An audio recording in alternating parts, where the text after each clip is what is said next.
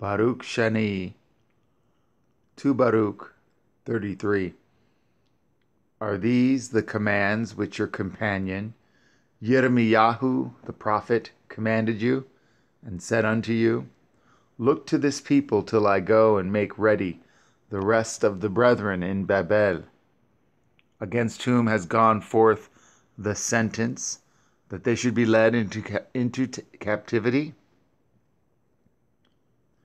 And now, if you also forsake us, it were good for us all to die before you, then that you should draw with, rather than that you should withdraw from us.